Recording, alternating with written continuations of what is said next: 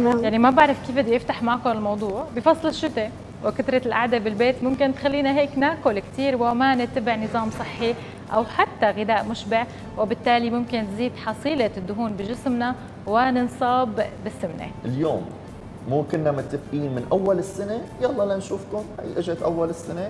ودائما النظام الغذائي بيكون ناطر على الباب بكل بداية جديدة. إن شاء الله يا رب هالمرة نمسكه ونلتزم فيه. اليوم بفقرة التغذية رح نحاول نبعد عن هالقصص ونحكي عن كيف بنقدر نرفع حصيلة حرق الدهون بجسمنا ونرفع معدل الاستقلاب ونحافظ على صحتنا مع ضيفتنا الدكتورة ثواب الغبرة اختصاصية بالتغذية. صباح الخير كل عام وأنت بألف خير. وانت والف خير. يا أهلا وسهلا. خير يا أهلا رب. وسهلا فيكم.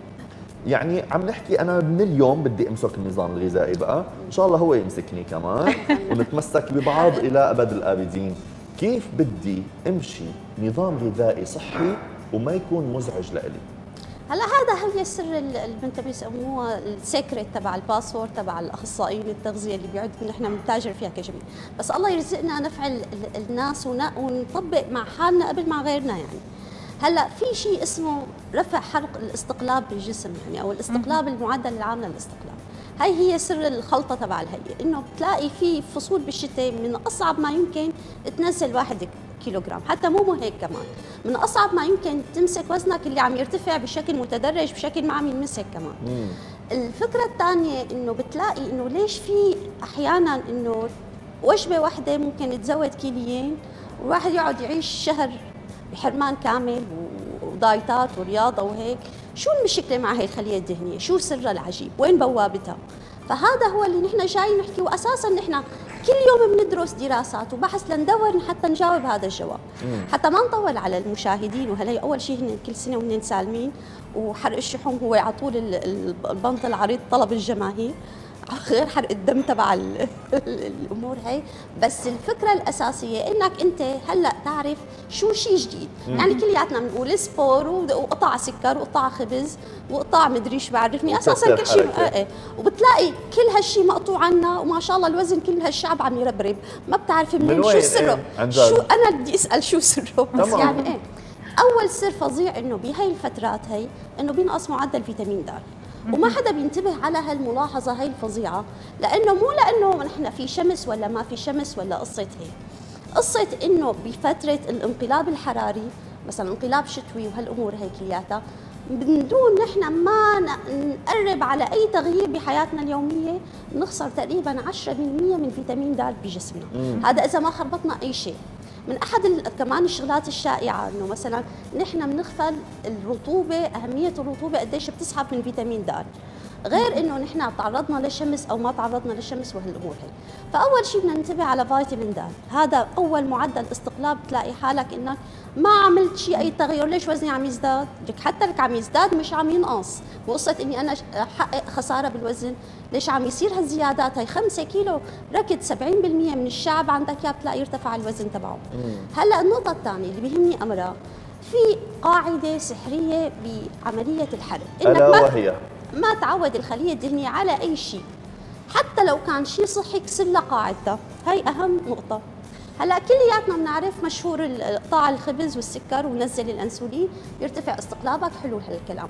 بس لتحقق هالأسبوع اللي هو zero zero sugar. هذا مثل نزع المورفين من الجسم.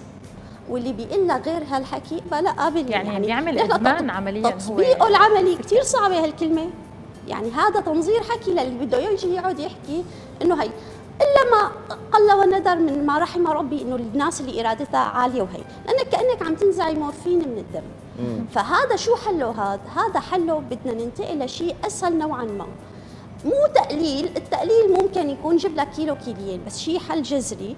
حننتقل لشيء بوابة ثانية هي الملح اللي كنا عم نحكي عليها.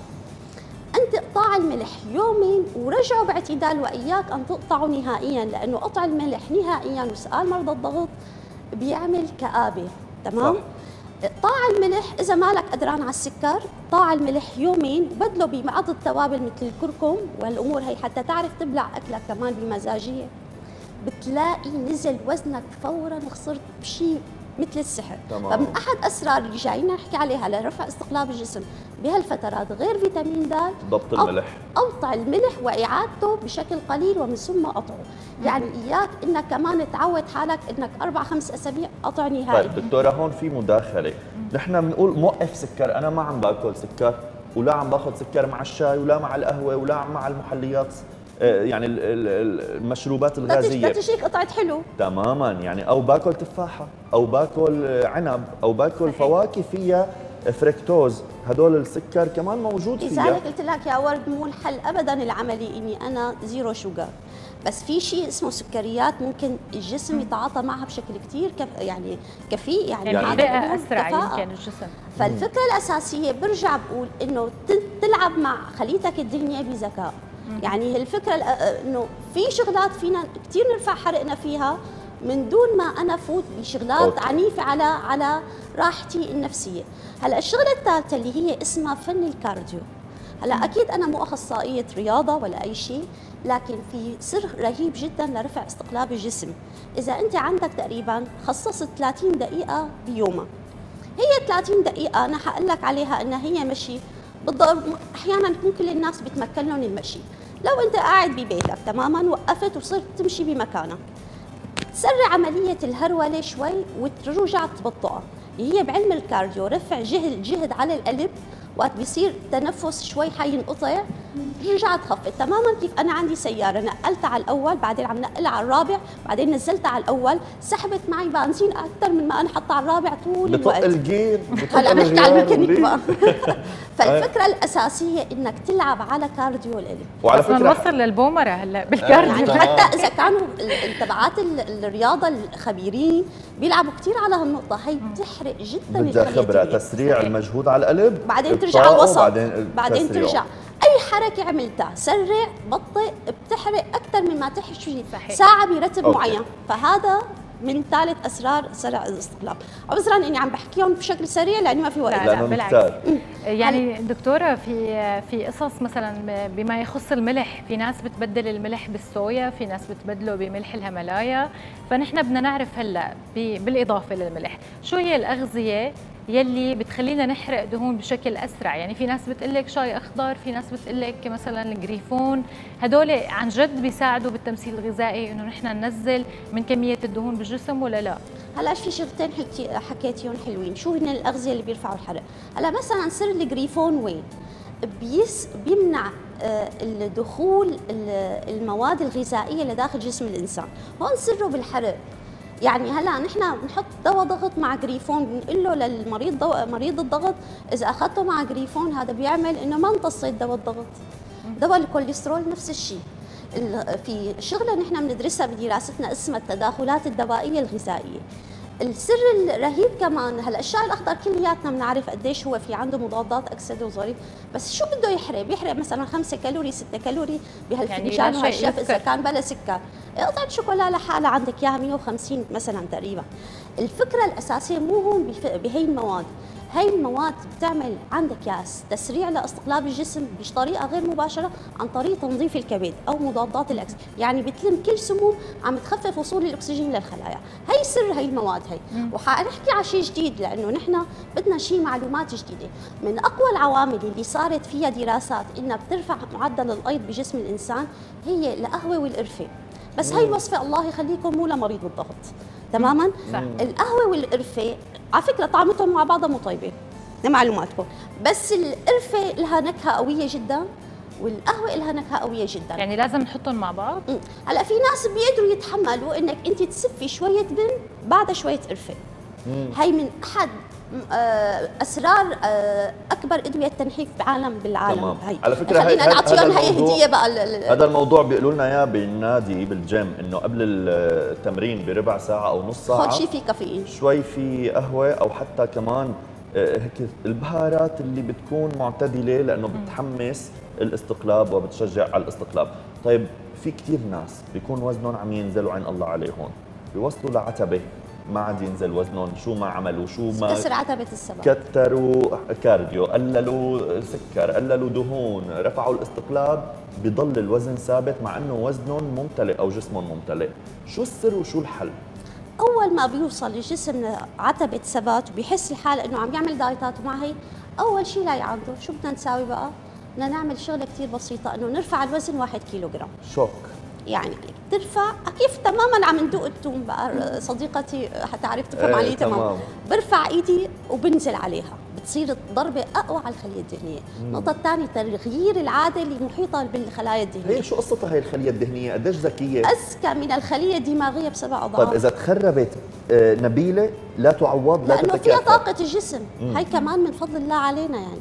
أنت اللي بتشوفه ال- ال- الإنسان تبع أهل الكهف وكان يأكل وقت بياكل ما بيعرف الوجبة الثانية إمتى بتجي بعده؟ بعد أسبوع هيك. لذلك ما كان عندهم سمنة.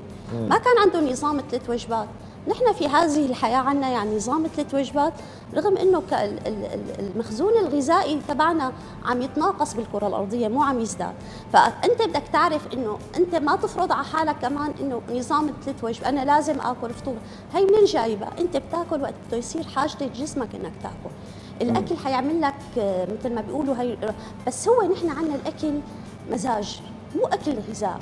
نحن نأكل. لنستمتع لا إيه. نأكل يعني هي صاير فينا المتعة الوحيدة لأنه وكمان بهم- كنتوا تحرمونا اياها يعني. هي اللي عم نلعب عليها لا. بس نحن بدنا نهندسها مثل الشطرنج في مثلا حركة بتقتل وزيري وفي حركة بتقتل عندي إياها وزير خصمي فهذا القصة هي إنك هي الخليه الدهنيه مو تعاديها بس خليها هي تصير تخدمك عوض ما. أنت تقعد تشتغل معها بمعارك فهي النقطة هي نيجي للوصفات اللي على السريع. هي قلنا ال- ال- ال- البن مع القرفة.